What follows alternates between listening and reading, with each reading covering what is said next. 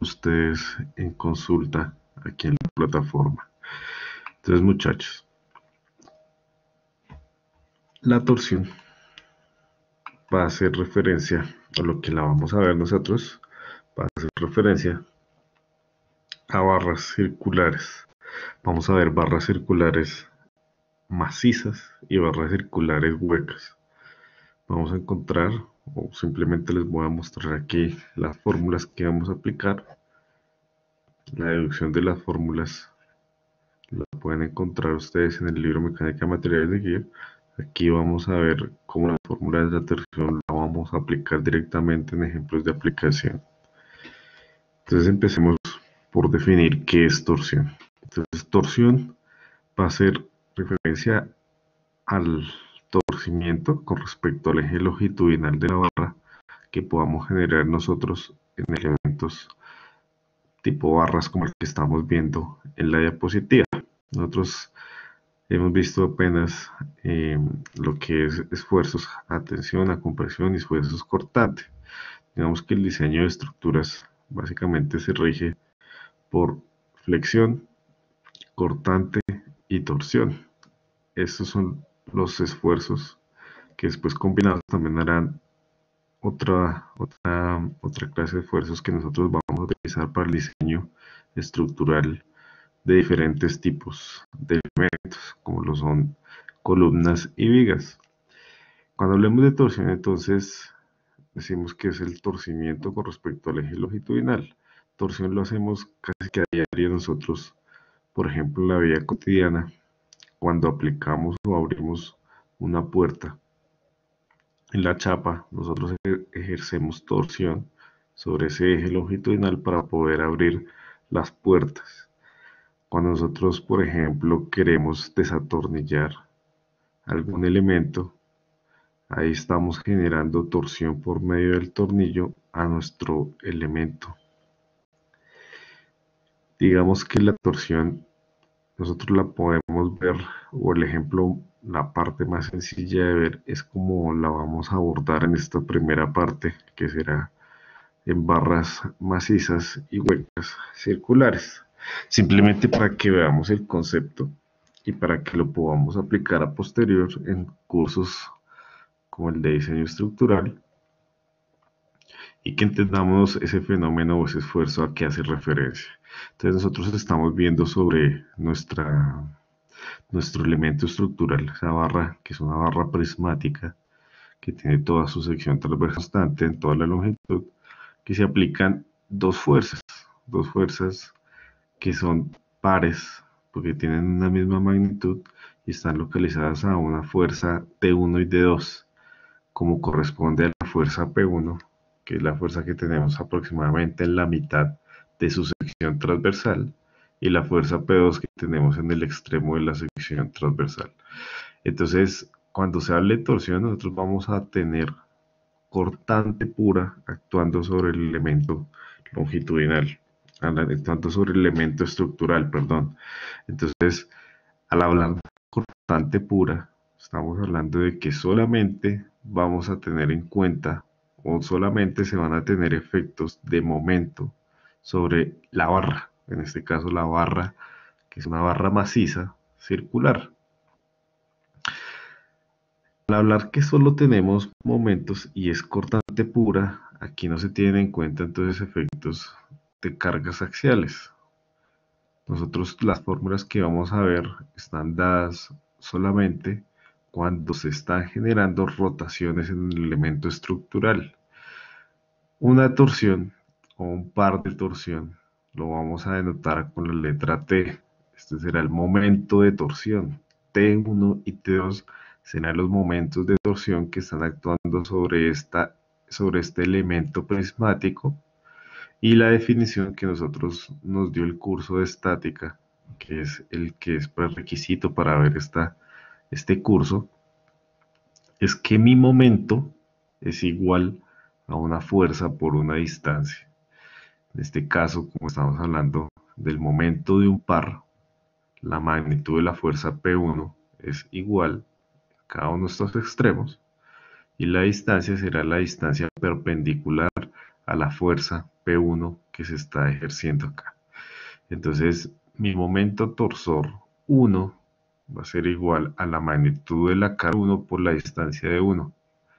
Y mi momento torsor 2 va a ser igual a la acción de esta carga P2 por la distancia de 2. Fuerza por distancia. Es la definición de momento que vamos a aplicar entonces cuando hablemos de momento torsor. Mi momento yo lo puedo notar bien sea con un giro en función de la regla de la mano derecha. Nosotros sabemos que si aplicamos la regla de la mano derecha hacia donde está aplicada la fuerza, nos va a decir si mi giro es positivo o mi giro es negativo. O lo aplicamos simplemente cuando hablamos del producto cruz entre vectores en cálculo vectorial.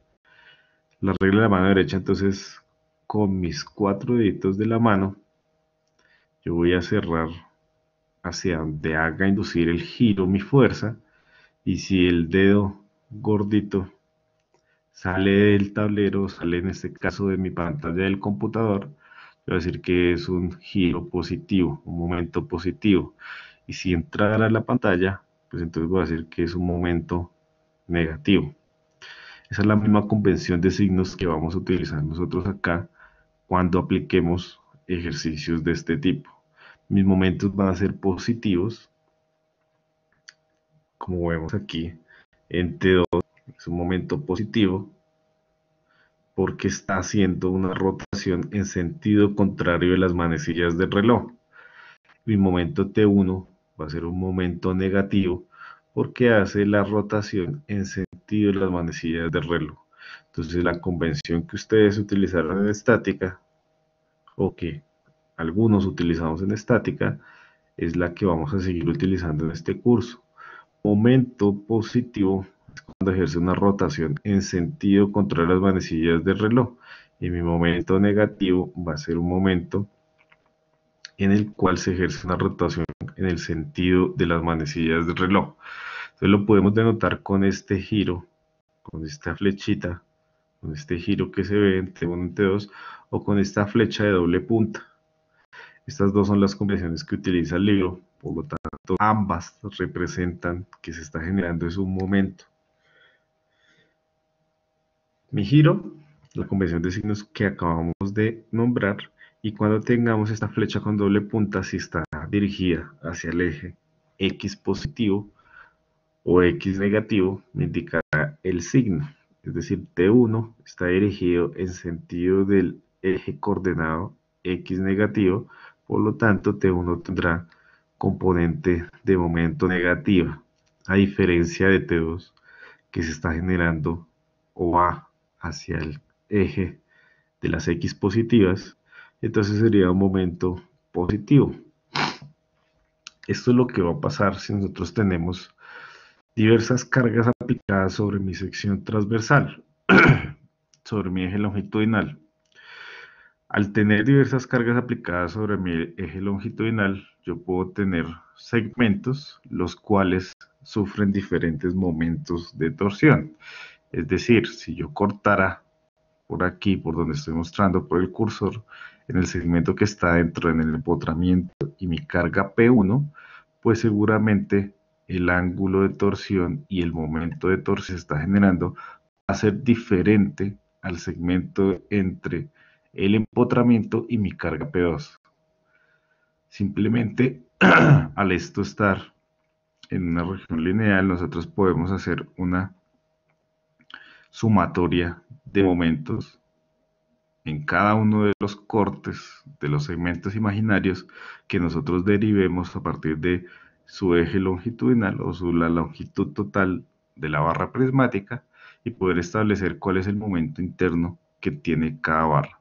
De igual manera como lo hicimos cuando encontramos las fuerzas internas, nosotros podemos encontrar momentos al interior de segmentos que vamos a partir en función de las cargas intermedias que estén aplicadas sobre la sección longitudinal. Entonces, en este caso, en el ejemplo que estamos viendo en la diapositiva, podemos tener entonces un momento interno entre mi empotramiento de mi carga P1 y otro momento interno diferente entre mi empotramiento y mi carga P2.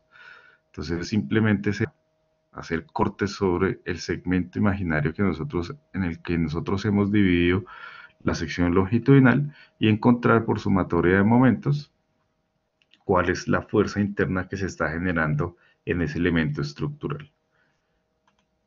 Entonces, como hablamos que estos elementos, el estudio que nosotros nos basamos para derivar las fórmulas que vamos a ver hoy, es que se está generando cortante pura sobre la sección longitudinal, sobre mi elemento, sobre mi barra prismática.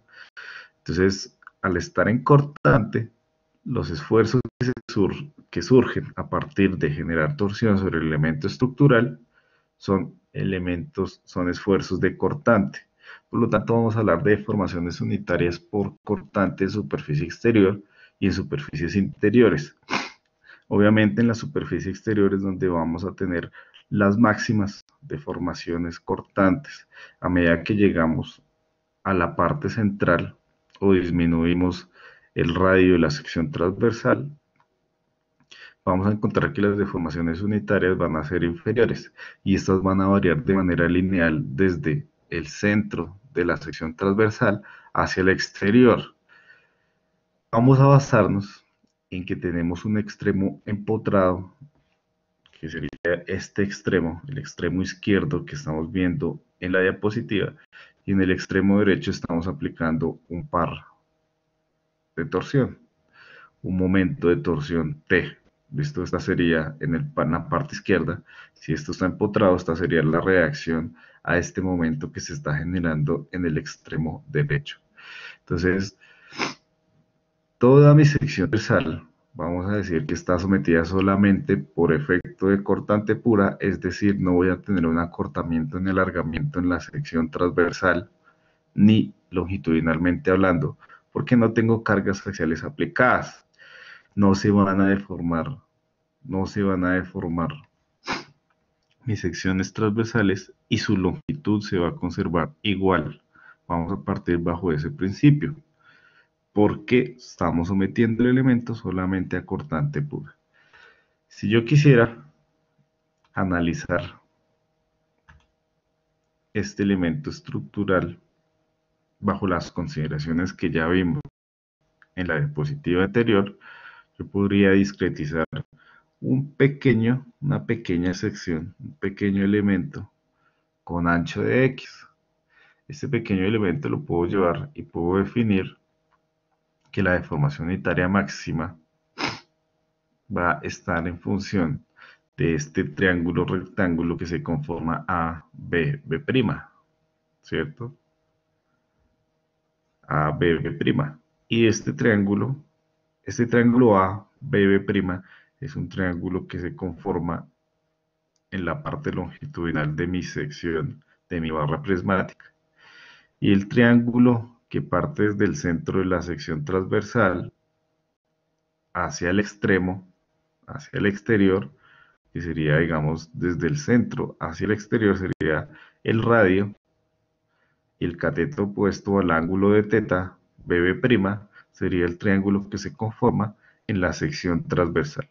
Si yo baso mi estudio de deformaciones unitarias en función de esos dos triángulos, el que tengo de manera longitudinal A, BB' y el que tengo en mi sección transversal BB' y mi radio, en función del ángulo de teta, voy a encontrar entonces que la deformación unitaria máxima va a ser igual a BB' sobre AB, ¿cierto? BB' que será entonces el cateto opuesto a este ángulo, a esta deformación. Recordemos que la deformación unitaria cortante es un cambio de forma, entonces va a ser un ángulo que producto de esta ecuación nos va a dar un resultado en radianes, ¿cierto? Es un resultado en radianes que nos representa cuánto se deforma con respecto a la posición original, producto en este caso de un momento torsor que se genera en el extremo. Nosotros vamos a hacer cuenta de caso.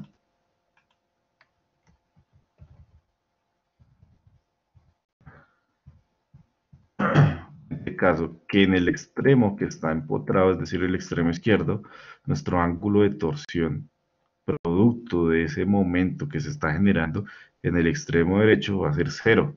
A medida que nosotros aumentamos en la longitud, pues el ángulo de torsión va a ser cada vez mayor y va a cambiar, va a ser variable y va a variar de manera lineal. ¿Listo?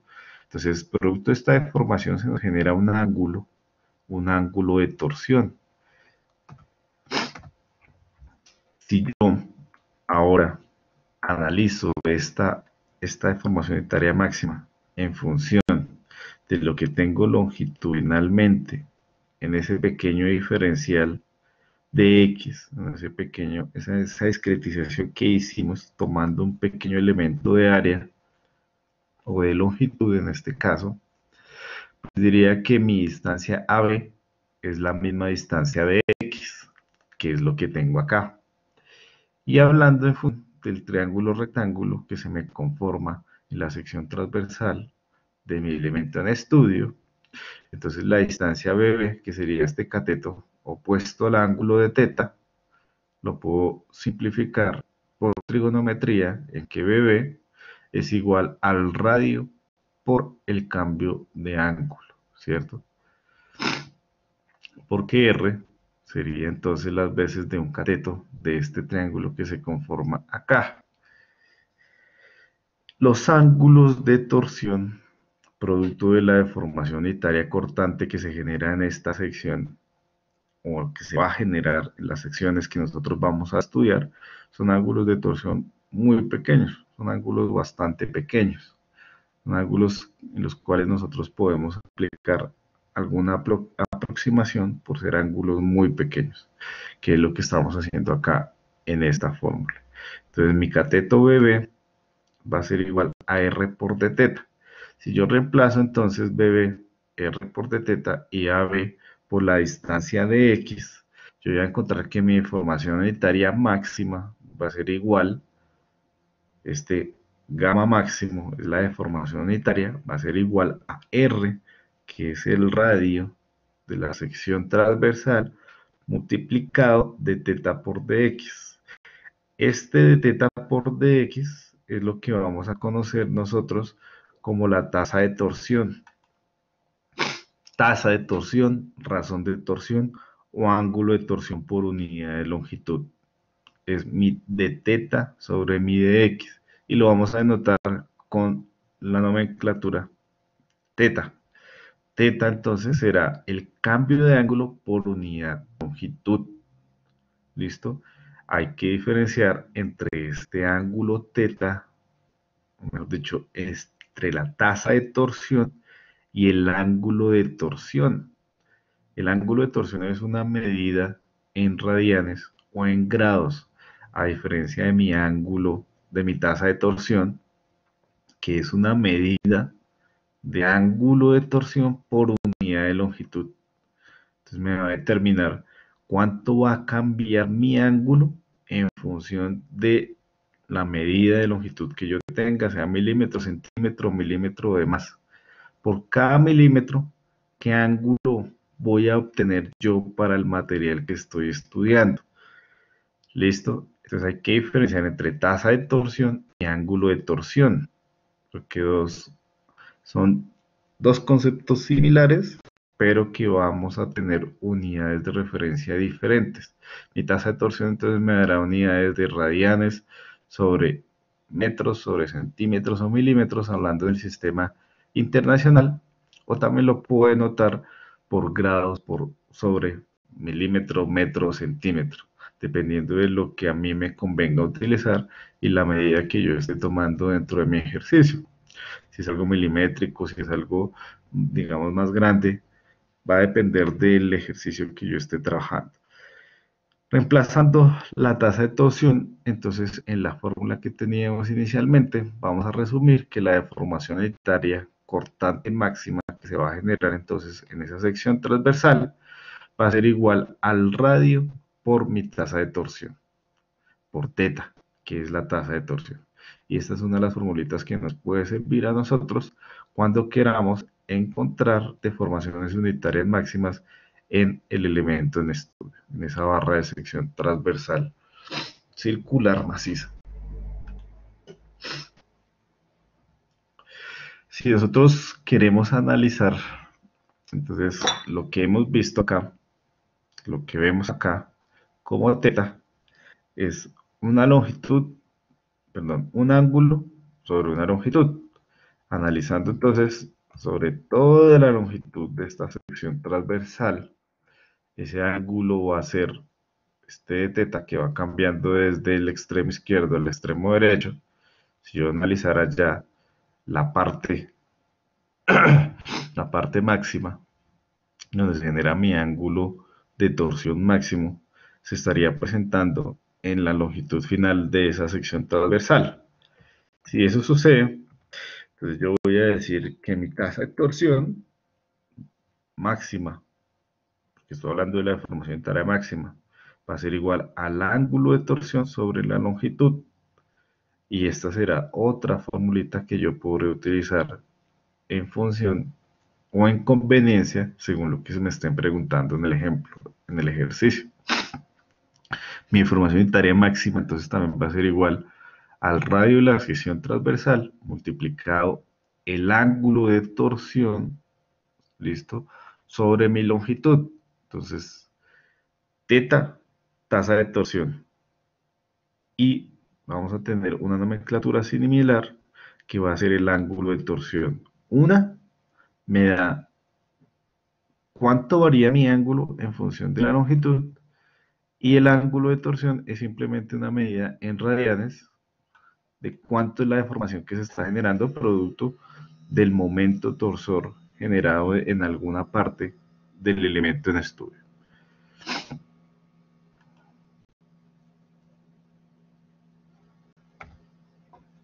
Entonces vamos a hablar que la variación de deformaciones unitarias del exterior al interior de la sección transversal, bien sea de una barra maciza o bien sea de una barra hueca, se va a generar de manera lineal.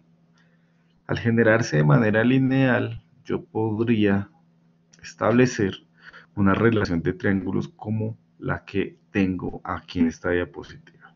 Entonces, si yo quisiera encontrar la deformación unitaria al interior de una sección transversal maciza, que es el ejemplo de la parte izquierda de mi diapositiva, yo voy a decir que en el extremo tendré el radio de mi sección transversal, lo que veo aquí como punteado.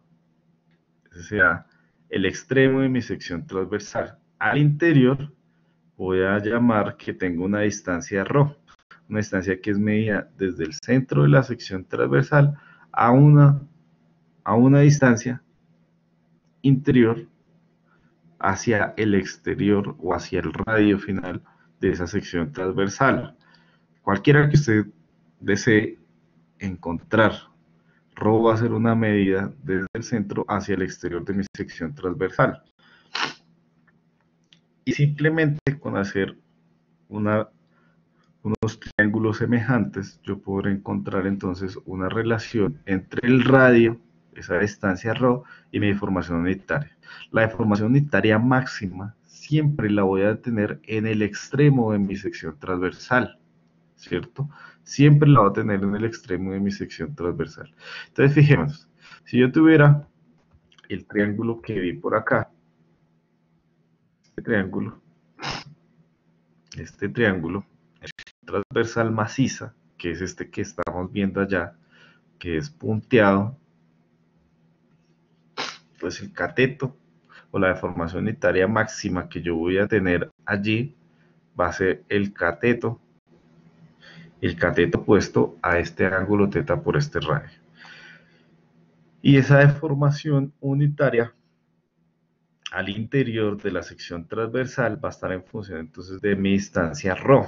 Por lo tanto voy a establecer una relación de triángulos entre, entre que al radio, mi deformación unitaria máxima sobre el radio va a ser igual a mi deformación unitaria al interior sobre ρ. ¿Listo? Si paso de dividir ρ aquí a multiplicarlo, entonces voy a obtener que la deformación unitaria al interior de esa sección transversal va a ser igual a la distancia a la cual yo quiero encontrar esa deformación multiplicada mi deformación unitaria máxima sobre mi radio.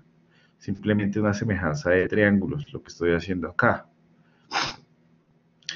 Si yo hablo de una sección maciza, ahora vamos a hacer lo mismo, pero va a estar entonces en función de que aquí sí voy a tener una deformación unitaria mínima, porque no tengo no tengo materia, no tengo sección, no tengo elemento, no tengo material en una parte interna de esa sección. Al ocurrir esto, entonces no voy a tener una deformación unitaria a cero como una sección maciza, mi deformación unitaria que equivale a cero será todo el centroide de la sección transversal de ese círculo. Aquí en la sección hueca, pues no, porque voy a tener simplemente materia en una parte de esa sección circular. Entonces, en el extremo interior, es decir, a mi radio R1, yo voy a tener la deformación unitaria mínima. Y en el exterior, en la parte exterior, voy a tener mi deformación unitaria máxima. Entonces, en una sección hueca, yo tengo una deformación mínima y una deformación unitaria máxima. O bueno, digamos que en una sección maciza también tengo una deformación unitaria mínima, pero que esta sabemos el valor, que es un valor cero. Está en el centroide de la sección transversal. Pero aquí, al no tener materia en el centro de mi sección transversal, pues no voy a tener una deformación unitaria igual a cero. Nuevamente podemos establecer entonces una relación de triángulos entre un triángulo grande, que sería el que tiene un cateto de radio o de valor R2 a una deformación unitaria máxima, ¿sí? Deformación unitaria máxima sobre R2 va a ser igual al triángulo que tengo más pequeño, que está contenido dentro de ese más grande, que tiene un cateto puesto a este ángulo de torsión, que será su deformación unitaria mínima, a una distancia R1, que es lo que estoy viendo acá. Entonces, mi deformación unitaria mínima sobre R1 va a ser igual a la deformación unitaria máxima sobre R2. Simplemente que pasando el radio interior R1 a multiplicar al otro lado de la igualdad, obtengo que mi deformación unitaria mínima va a ser igual a una relación entre el radio interior sobre el radio exterior por la deformación unitaria máxima. Estas serán otras fórmulas que yo puedo encontrar entonces, o que puedo utilizar para encontrar deformaciones al interior de mis elementos estructurales, bien sean macizos o bien sean huecos. Simplemente es una relación de triángulos, porque la deformación varía de manera lineal desde el centroide de mi sección transversal hacia el extremo. ¿Listo? Entonces siempre la máxima la voy a tener en la cara o en la superficie exterior de mi sección transversal.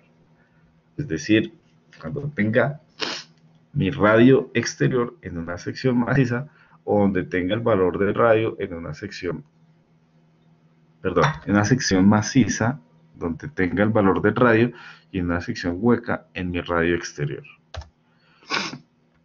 Entonces estamos hablando que torsión generará esfuerzos por cortante en la sección transversal o en la sección longitudinal, lo que voy a tener, lo que puedo llegar a aplicar será una nosotros cuando vimos esfuerzos cortantes vimos que la ley de juga cortante era igual a mi esfuerzo por ese módulo de rigidez que llamábamos G, ¿sí? que es lo que estamos viendo aquí en la parte superior, mi esfuerzo cortante tau igual a mi módulo de rigidez por mi deformación unitaria.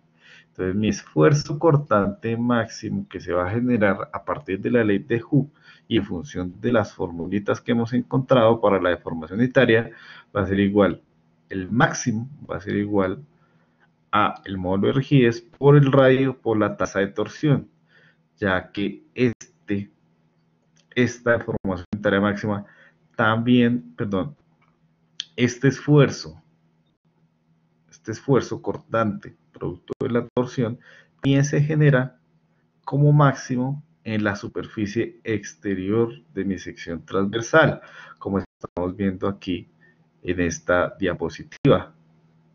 Estamos viendo que aquí en el extremo, la superficie exterior, se está generando el esfuerzo cortante máximo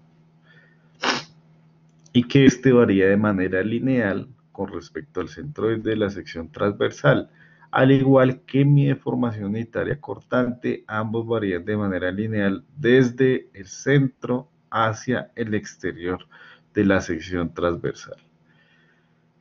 Otras fórmulas que puedo derivar entonces a partir de la variación lineal de mi esfuerzo va a ser esta que estoy viendo aquí en la parte inferior derecha de mi diapositiva, donde al tener una variación lineal puedo proponer nuevamente una relación de triángulos semejantes entre un triángulo, que es el más grande, ¿sí? donde tengo este cateto que es R, el cateto opuesto será mi esfuerzo máximo y el adyacente al ángulo de torsión será el radio. ¿cierto? Tau máximo sobre R va a ser igual a un tau, que es un esfuerzo al interior de esta sección transversal, sobre una distancia ρ, tau sobre ρ. Y nuevamente, si quiero encontrar el esfuerzo al interior de la sección transversal, simplemente paso tau a multiplicar al otro lado de igualdad, y el esfuerzo al interior, un esfuerzo interno, un esfuerzo cortante interno va a ser igual a que es una distancia medida desde el centroide de mi sección transversal hacia el, hacia el exterior de la misma,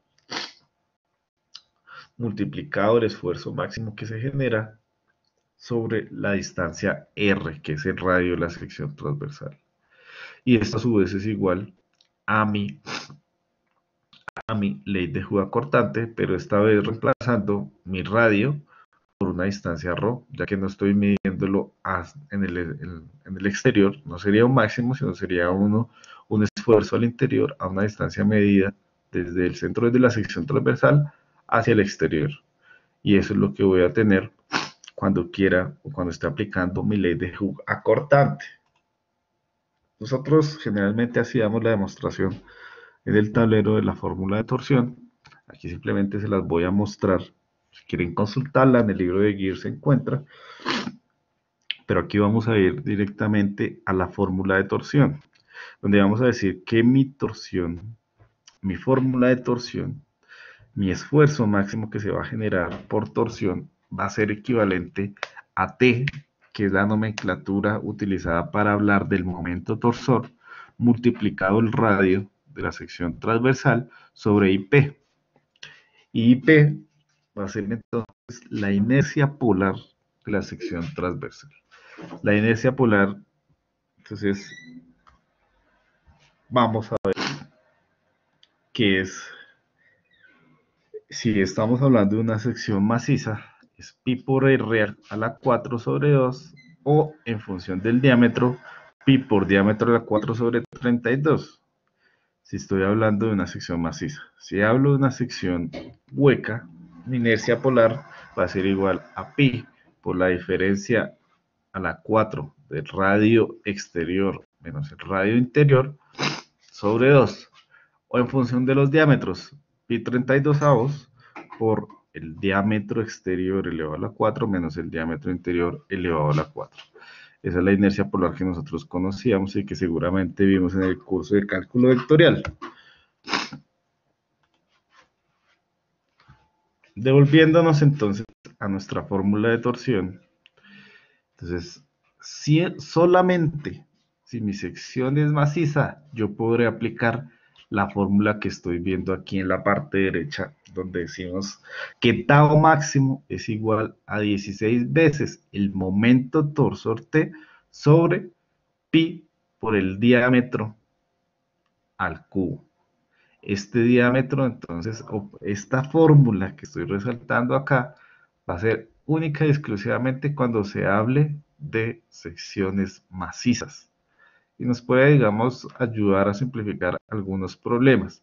Sección maciza de la parte derecha y de la parte izquierda, sección tanto maciza como hueca. Esta es la fórmula general de la torsión y esta es una fórmula solamente aplicable en una sección maciza. El ángulo de giro o de torsión entonces va a ser igual a mi momento torsor por la longitud. L es la longitud sobre G, que es el módulo de rigidez, que es la constante elástica del material, acortante por la inercia polar.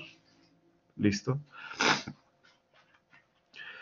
Y mi ángulo de torsión por unidad de longitud, que es el cambio de ángulo de teta sobre longitud de teta sobre dx, va a ser igual entonces a mi momento de torsión sobre mi de rigidez por mi inercia polar. Vamos a tener, o vamos a ver también que el término de rigidez y flexibilidad torsional se aplican acá en torsión, partiendo de las mismas definiciones que habíamos hablado cuando eh, habíamos expuesto miembros cargados axialmente, que decíamos que la rigidez era la fuerza necesaria para obtener un desplazamiento de valor unitario.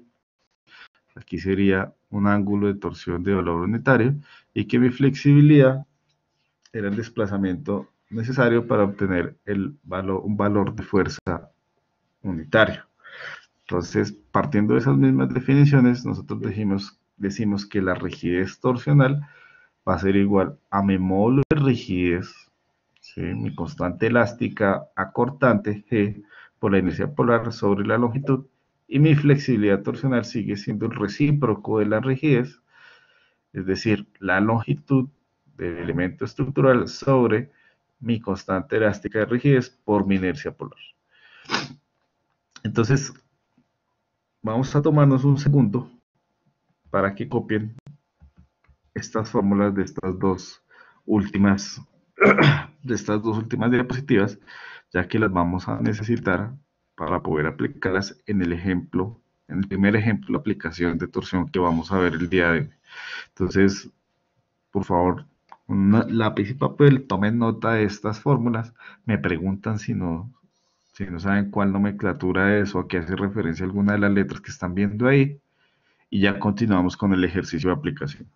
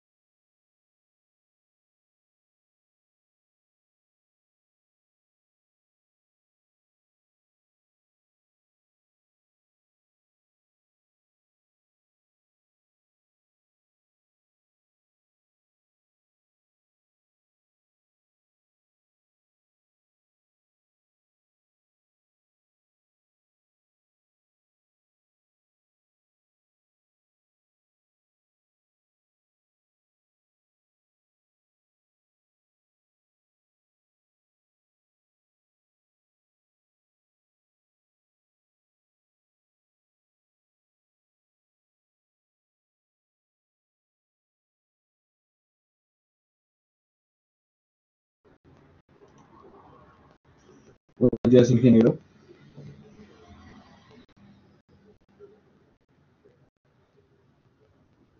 Dígame, Leonardo. Ingeniero, una pregunta. El- la fórmula de ángulo de torsión se utiliza para tanto la barra maciza y para huecas. Sí, ahí no hay problema. Ahí todo está en función de la inercia polar. Lo único que va a cambiar, digamos, va a ser la inercia polar, que pues al ser una barra eh, maciza, va a ser pi por el diámetro de la 4 sobre 32, o al ser una sección transversal hueca, será pi 32 avos de la diferencia de los diámetros elevados a la 4. ¿Listo? Entonces ahí va a radicar la diferencia es en la inercia polar, si es una sección maciza o una sección hueca. Listo, ingeniero, gracias. Bueno, ¿ya todos copiaron las fórmulas? Ingeniero, Señora, o sea que la de la derecha es, que no entendí porque digamos, hay una general para maciza y, y la otra que es la, o sea, una que se usa para maciza solamente y las otras, las dos. Entonces, teniendo en cuenta eso, el momento polar de inercia, la de la derecha sería para maciza y la de la izquierda sería para, para las huecas. no. Aquí en momento polar de inercia, pi por el diámetro de 4 sobre 32 es la inercia polar para la, mas- para la, para la maciza. ¿sí? Es decir, la de la izquierda es la de la maciza. Y la de la derecha, que es en la función de la diferencia de los diámetros elevados a la 4, sería la de la hueca. La Vale, muchas gracias. Listo. ¿Alguien más tiene dudas, muchachos?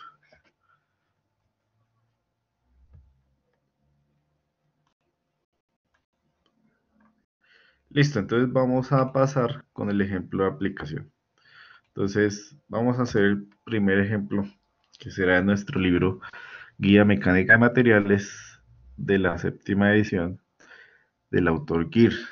El ejercicio es el 3.316 por si quieren consultarlo. Y nos dice lo siguiente, un tubo hueco de aluminio utilizado en, en una techumbre tiene un diámetro exterior de 2 de 104 milímetros y un diámetro interior de 1 de 82 milímetros. El tubo tiene una longitud de, 20 de 2.75 metros y el módulo de elasticidad en cortante, ya que es un aluminio, es de 28 gigapascales. Perdón. Nos preguntan entonces, si el tubo se tuerce en torsión pura mediante pares de torsión en los extremos, ¿cuál es el ángulo de torsión en grados? Recordemos que si aplicamos la fórmula, como la vimos nosotros aquí en la presentación, pues vamos a obtener un resultado es en radianes. Y nos dicen que ¿qué ángulo de torsión tenemos cuando el esfuerzo cortante máximo es de 48 megapascales? Y B, ¿qué diámetro de ese requiere para un eje sólido para resistir el mismo momento par de torsión con el mismo esfuerzo máximo? Es decir, el esfuerzo máximo para el punto A y para el punto B van a ser estos 48 megapascales.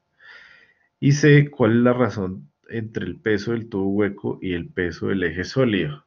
Entonces, vamos a tomarnos ahí 10 minutos para que ustedes planteen el ejercicio, lo traten de resolver y ya vuelvo con ustedes y lo hacemos entre todos. Entonces, con las fórmulas que ya vieron o que copiaron ustedes en su hoja, traten de resolver este ejemplo.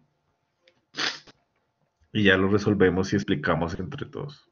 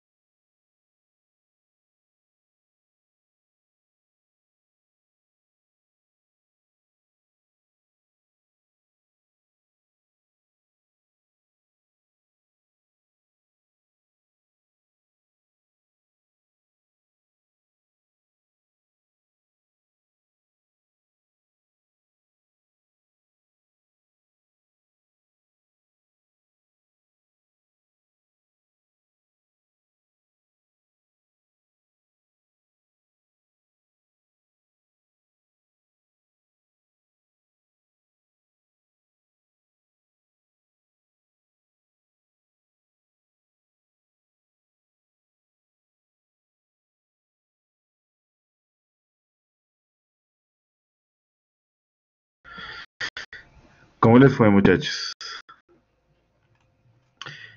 Vamos a solucionar acá este ejemplo. Veamos cómo lo tenemos que resolver.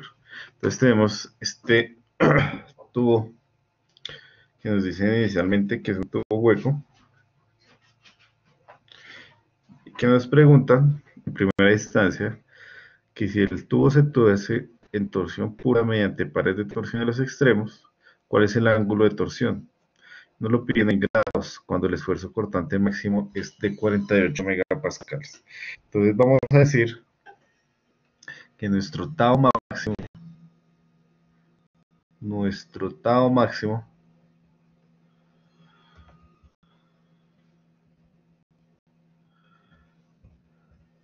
es 48 megapascales.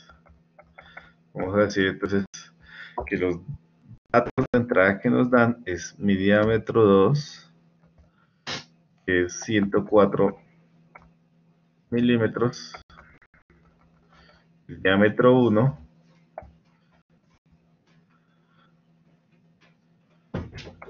el diámetro 1, que son 82 milímetros, y la longitud total del elemento será entonces 2.75 metros.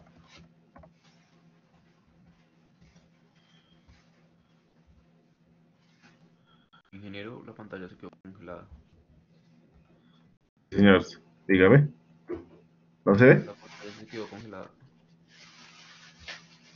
Entonces...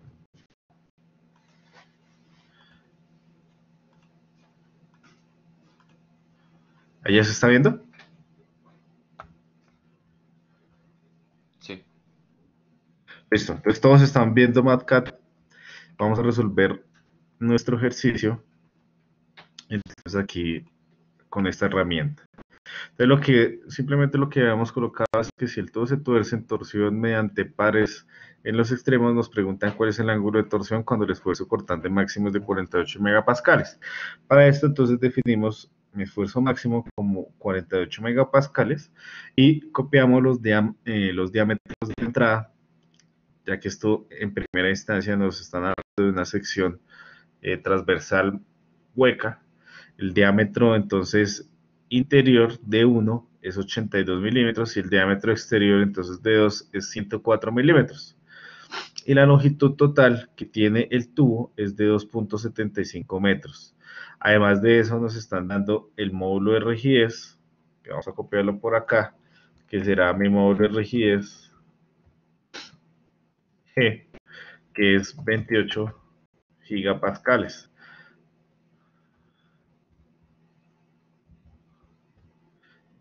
gigapascales. Entonces, como vamos a trabajar todo seguramente en unidades de milímetros y newton, entonces pongámosle mejor aquí 28.000. Y ya sabemos que la unidad de medida será entonces no gigapascales, sino megapascales. 28.000 megapascales para mi módulo de rigidez G. Entonces, ¿qué es lo primero que tenemos que encontrar en este problema? Como están pidiendo el ángulo de torsión, la formulita de mi ángulo de torsión, si todos la copiaron, decía que mi ángulo de torsión es igual a T por L sobre G por IP. T por L sobre G por IP. Eso es mi ángulo de torsión. Esa formulita, vamos a copiar acá para entonces hacer referencia, mi ángulo de torsión va a ser igual entonces a T por R, ¿cierto? T por R sobre el módulo de rigidez G por mi inercia polar, IP. Aún IP no la he calculado, pero la podría calcular porque tengo mi diámetro interior y mi diámetro exterior. Mi ángulo, mi R, mi ángulo de torsión de esta fórmula, conozco el radio porque tengo el diámetro exterior. Entonces mi radio, mi R, Entonces lo voy a definir por acá. Definir que R va a ser igual entonces a mi diámetro de 2 dividido en 2. Esa va a ser la definición de mi R. Si yo quisiera entonces encontrar a qué es igual el radio, R va a ser igual entonces a 52 milímetros, el radio de esa sección transversal. Lo que puedo entonces deducir es que la única incógnita para encontrar mi ángulo de torsión sería mi momento de torsión T, porque la inercia polar también la podría encontrar yo en función de los diámetros interior y exterior. Yo voy a decir que mi inercia polar va a ser igual entonces a qué? inercia polar para una sección entonces hueca como la que estoy viendo acá va a ser igual a pi 32 avos de la diferencia de los diámetros elevados al cuadrado. Entonces será pi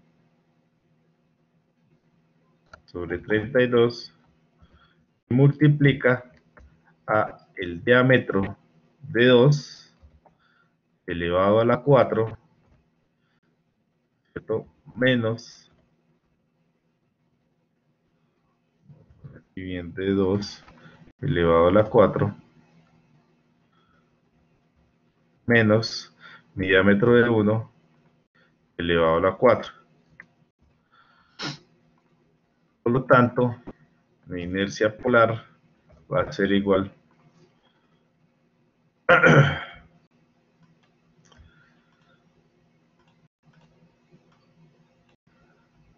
a 7.046.364.6 milímetros a la 4. Listo. Vamos a ver entonces cómo trabajar todas las unidades en milímetros y esfuerzos y módulo de rigidez en megapascales para que mi fuerza sea trabajada en newton. Entonces, de esta formulita, lo único que queda pendiente por encontrar será T, que es el, eh, el momento torsor. Vamos a colocar aquí. Ángulo de torsión. Es finalmente la formulita que yo voy a encontrar. Pero entonces T, para una sección hueca, lo puedo encontrar a partir de la fórmula que tau máximo va a ser igual, voy a definirlo acá, va a ser igual a T por R sobre IP, que fue la fórmula que nosotros vimos para la torsión, T por mi radio dividido dividido mi inercia polar, mi P. De acá voy a despejar a T y T quedaría entonces igual a mi esfuerzo cortante máximo que multiplica a mi inercia polar y todo esto dividido entonces en el radio.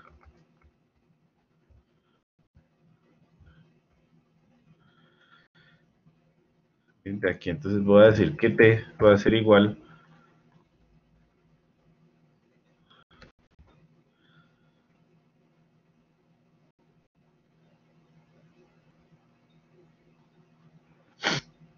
T por mi inercia polar. Entonces T va a ser igual a 6.504.336.5. ¿Eso qué unidades me está dando a mí?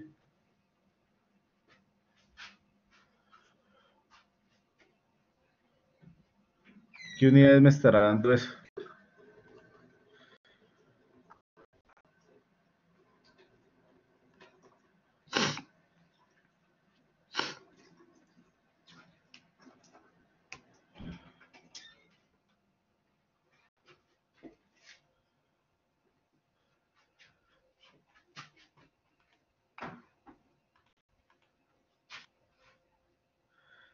Exacto. Newton por Newtons por milímetro. ¿Listo? Estamos trabajando unidades de mi fuerza en Newton y unidades de distancia en milímetro. Entonces las unidades que obtengo yo, producto de esa multiplicación, van a ser Newton por milímetro. ¿Listo? Ese va a ser entonces mi momento torsor que se está generando para esa sección, por eso tengo un valor tan grande, porque es Newton por milímetro. Y lo bajaré así para poder trabajar todas las unidades acá en milímetros y en Newton como tenemos los megapascales, que es Newton sobre milímetro cuadrado. En ese caso, mi ángulo, mi ángulo de torsión, si ya tengo T, si tengo R, si tengo mi módulo de rigidez y mi inercia polar, lo puedo encontrar fácilmente. Entonces mi ángulo de torsión va a ser igual a... Vamos a aproximarlo aquí con 3.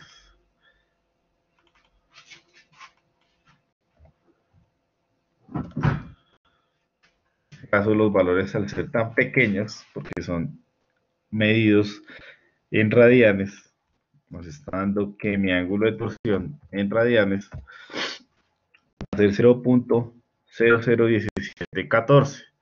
¿Cómo hago yo para pasar un ángulo en radianes a un ángulo en grados? Mi ángulo en grados entonces aquí va a ser igual. Yo sé que pi sobre 180, pi radianes sobre 180 grados va a ser la conversión que puedo utilizar. Entonces voy a multiplicar ese ángulo en radianes que encontré, lo voy a multiplicar por 180 y lo voy a, y lo voy a dividir en pi.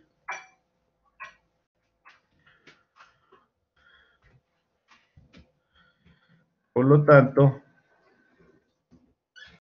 mi ángulo en grados va a ser igual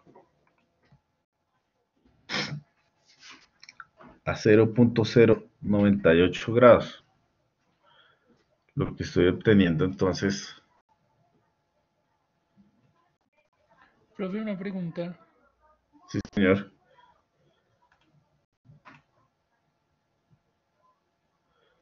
Sí, pregúnteme. Em, en la fórmula de Tao máximo, ¿el R a qué hace referencia? Al radio. Al radio exterior, o sea, el de 104, ¿sí? El radio Es que siempre va a ser hice- al radio, es que es- estamos o nos están dando es el diámetro. Ah, ok, ok, listo. Entonces lo estoy dividiendo en dos para obtener el radio, que sería el radio exterior, y ahí ya encuentro mi tau, mi, mi, mi momento torsor. ¿Listo? Ok, Y después de eso, entonces ya encuentro mi ángulo en grados, multiplicando ese ángulo que me da porque me está dando en radianes, multiplicándolo por 180 y dividiéndolo en pi. ¿A todos les está dando el mismo resultado?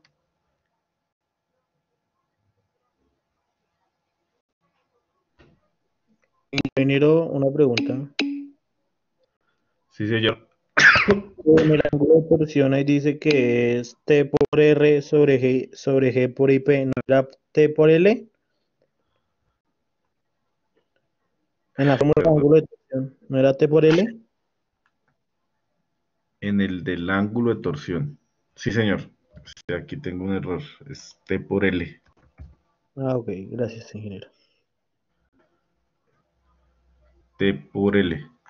Y el L está en metros, entonces voy a colocarlo acá como 2750 milímetros para que tengamos unidades consistentes, ¿listo?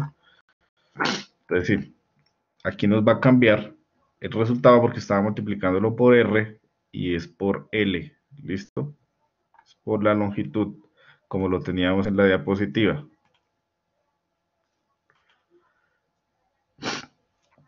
Que mi ángulo de torsión, voy a copiarlo aquí de la diapositiva. La fórmula que teníamos era esta.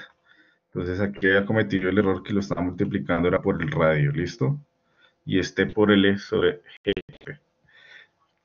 Y en ese caso, entonces nos va a cambiar el ángulo de torsión a 0.090 radianes y esto multiplicándolo por 180 dividiéndolo, en pi voy a obtener mi ángulo en grados de 5 puntos podemos aproximarlo a una sola cifra decimal 5.2 grados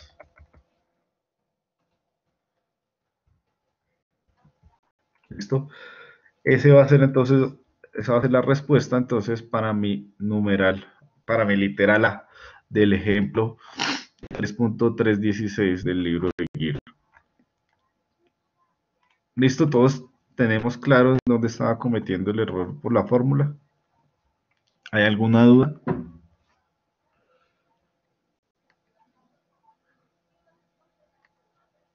¿Todo está claro, muchachos?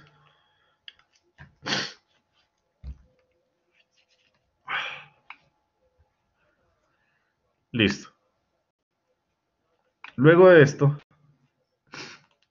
entonces lo que nos están pidiendo es que qué diámetro de se requiere para un eje sólido para resistir el mismo par de torsión con el mismo esfuerzo máximo. Entonces, digamos que esta va a ser mi parte A.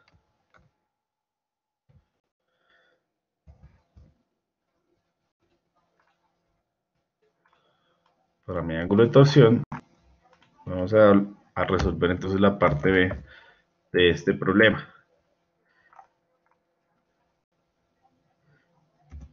Nos están preguntando qué diámetro de será el que necesitamos para el mismo esfuerzo máximo. Aquí es en donde podemos utilizar entonces nosotros la formulita que vimos, que les dije que era exclusiva mulita de torsión que era exclusiva para secciones para secciones macizas. Ya que nos están pidiendo es un diámetro o cambiar qué sección transversal nos serviría para la misma necesidad de esfuerzo máximo que es de 48 megapases.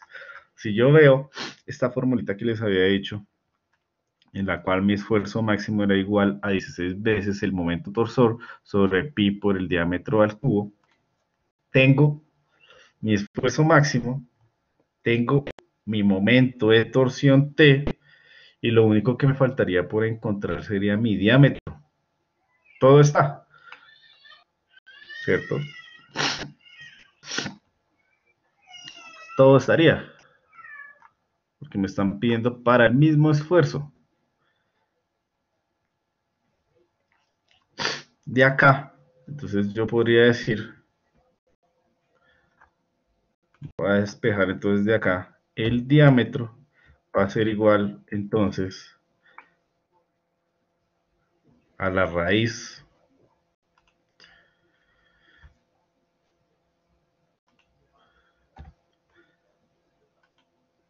cúbica de 16 veces por mi momento torsor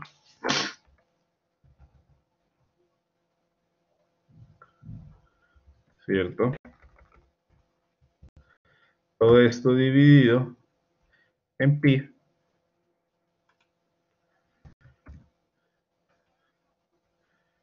por mitad o máximo. Eso sería lo que podría entonces despejar a partir de esta fórmula.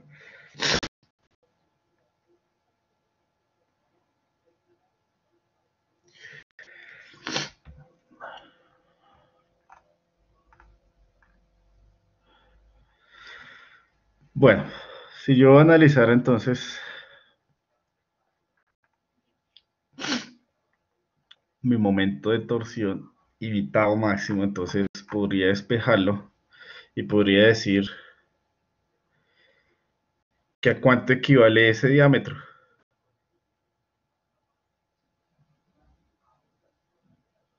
¿Cuánto les estaría dando a ustedes el diámetro para una sección maciza?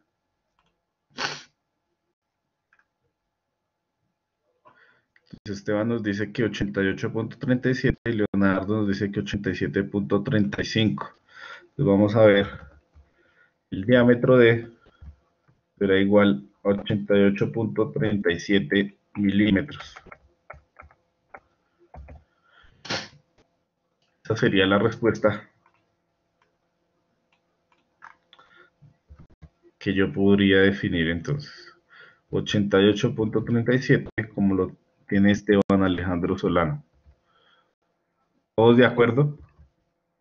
Leonardo, ¿saben que está cometiendo? Al igual que Gerson.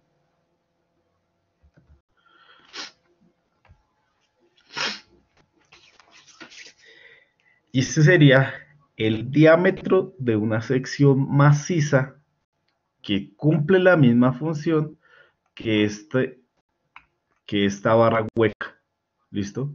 Entonces, si nosotros nos fijamos, es una sección con diámetro inferior, pero seguramente que tiene más masa que esta sección con 88 milímetros hace lo mismo que esta sección, pero hueca, que tiene un diámetro exterior de 104 milímetros y un diámetro interior de 82 milímetros.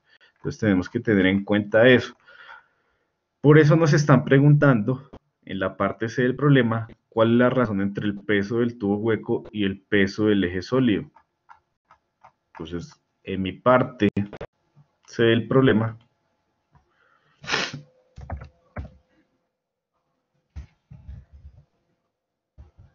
relación entre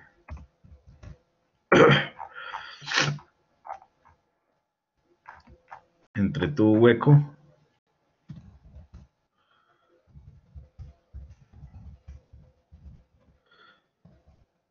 macizo.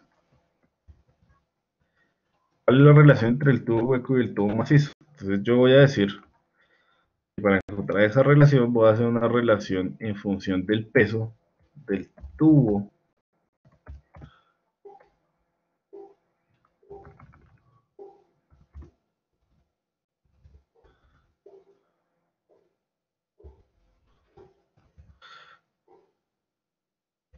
tubo hueco dividido mi peso del tubo macizo.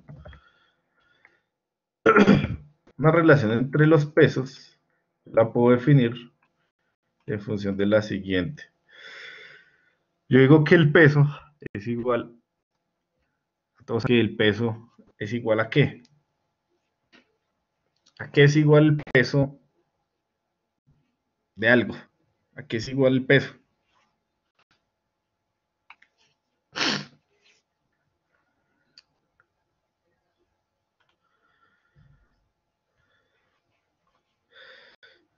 Sí, es un- una masa por una gravedad. Pero cuando yo tengo una sección como la que estoy analizando en este ejemplo, sería como nos está diciendo Cristian Hernando, un volumen por una densidad, ¿cierto? Entonces, ¿cómo será eso? Voy a decir que el volumen del tubo hueco por la densidad por un gamma. En este caso, el gamma, tanto de la sección hueca como de la sección maciza, es el mismo. ¿Por qué razón? Porque nosotros estamos analizando un mismo material, ¿cierto? Simplemente con secciones diferentes, huecas y macizas. Entonces será el volumen del, del tubo hueco por el gamma del material que sea y sobre el volumen de mi tubo macizo multiplicado el gamma. Entonces, como les digo, el gamma, tanto el tubo hueco como el tubo macizo es el mismo, para que tenga un punto de comparación. Si yo analizo esto, la relación entre los dos pesos, yo podría simplificar el gamma de esta igualdad, ¿cierto? Y finalmente, me quedaría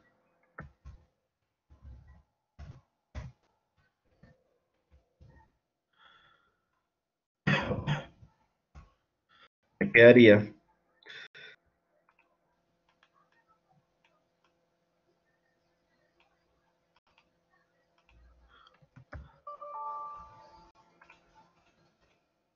Voy a copiar acá entonces. Finalmente me quedaría mi volumen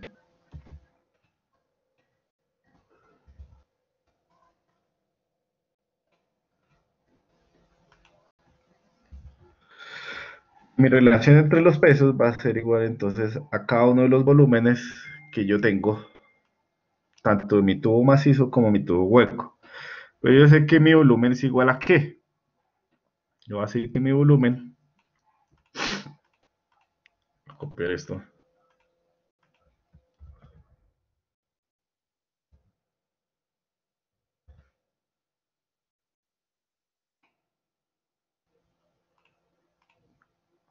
Mi volumen pues simplemente a un área.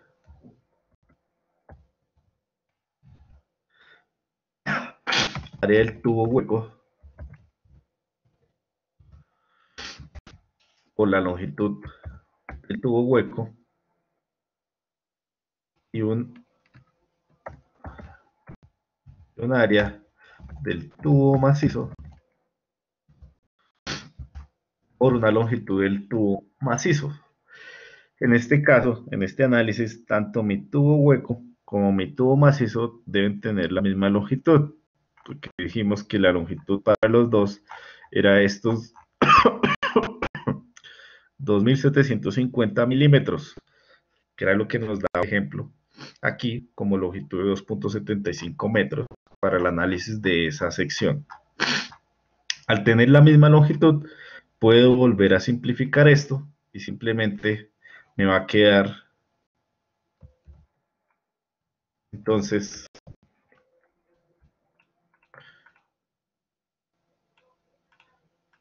una relación entre el área de mi tubo hueco y una relación entre el área de mi tubo macizo, ¿listo? Yo sé que al hacer unas secciones, unas secciones, unas secciones redondas, ¿cuáles van a ser esas áreas?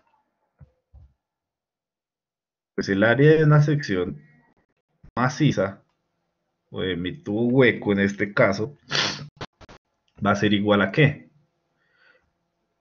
A pi, ¿cierto? Sobre 4 y multiplica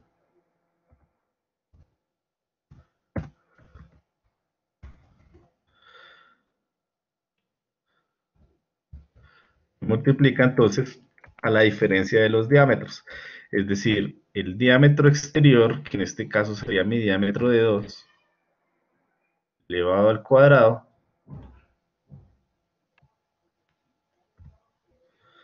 ¿cierto? Menos mi diámetro de 1, que estaría elevado al cuadrado. Y en la parte del divisor tenía mi área del tubo macizo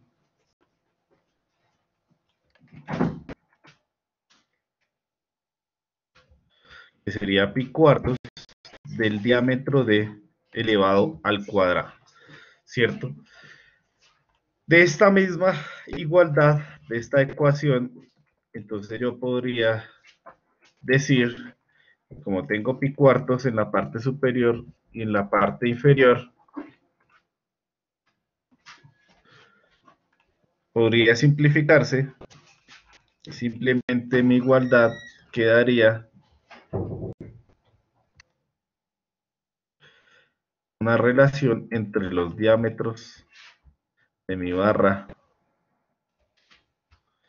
tanto maciza como mi barra hueca diámetro que acabo de encontrar y que me ha definido mi ejercicio. Entonces, la relación entre mi tubo hueco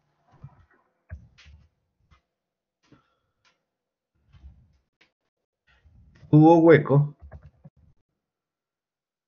y el macizo va a ser igual a lo siguiente. A de 2, que ya lo tengo por ahí arriba, elevado al cuadrado, ¿cierto? Menos de 1, que ya lo tengo definido por allá arriba, elevado al cuadrado, ¿sí? Todo esto dividido entonces entre el diámetro de la sección maciza que encontré elevado al cuadrado. Y esa va a ser la relación que yo voy a definir. Por lo tanto, la relación entre los dos es de 0.5224. Quiere decir que el peso del tubo macizo es aproximadamente, o la relación entre los dos, el tubo del, tubo macizo pesa casi el doble o pesa el tubo hueco la mitad de un tubo macizo. Realmente tendremos una reducción del 48% en el material. La relación entre los dos es del 52%. Esta es la, razón por la cual nosotros utilizamos secciones o tubos huecos en vez de tubos macizos, ya que el peso va a estar relacionado con el valor que pueda llegar a tener cada uno de nuestros perfiles. En los techos, por ejemplo, nosotros vemos que los perfiles, las correas, las cerchas, entonces una relación o tienen una sección transversal hueca, porque cumplen la misma, la misma función, así sean un poco más grandes, ya que nos ahorramos, en este caso el ejemplo, un 48% del material. Es decir, vale casi que la mitad una sección hueca que una sección maciza y cumplen la misma función en un tejado. Entonces, esa es la relación de pesos que nosotros podemos encontrar y es para que veamos como la magnitud de lo que puede llegar a valer una sección maciza con respecto a lo que vale una sección hueca y que ambas cumplen la misma función. ¿Hay alguna duda al respecto?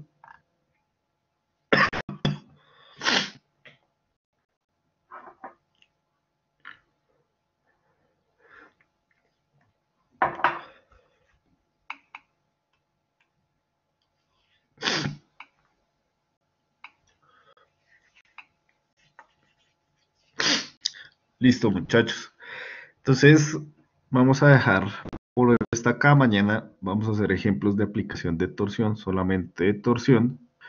Y ustedes deciden si hacemos el parcial solo de torsión o le incluimos vigas, eh, diagramas de cortante y momento en vigas que lo vamos a repasar para la última parte del curso que necesitamos evaluar esfuerzos a flexión, esfuerzos a cortante y columnas. Entonces, ustedes deciden, mañana me cuentan, pónganse de acuerdo por el grupo y me dicen qué quieren ustedes. Si solo torsión o ambos. Pero pónganse de acuerdo y que mañana, mañana me definan ¿Qué fecha tenemos nosotros del parcial? ¿Quién me puede recordar la fecha del parcial? ¿Quién la tiene ahí en la mano?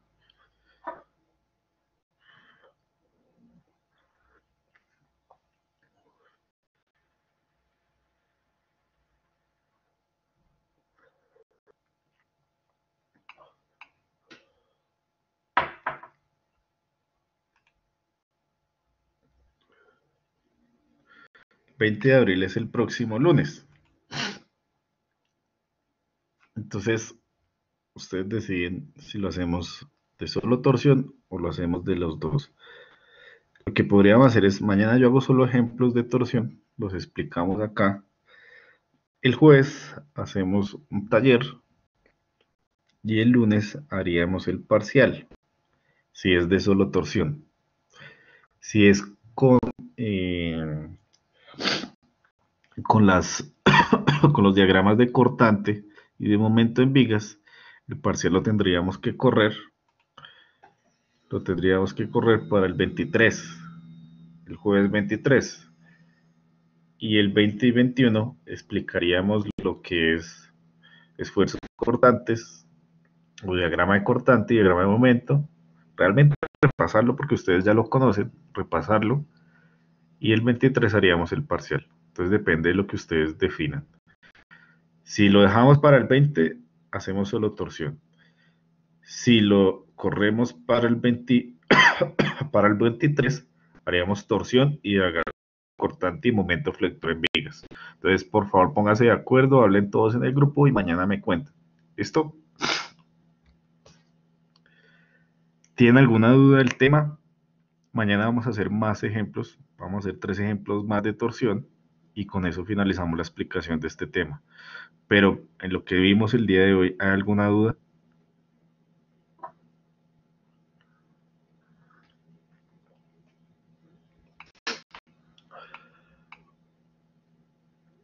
Listo muchachos, entonces si no hay dudas, por hoy dejamos la clase hasta acá y quedo pendiente de lo que ustedes mañana me definan en cuanto a la fecha del parcial.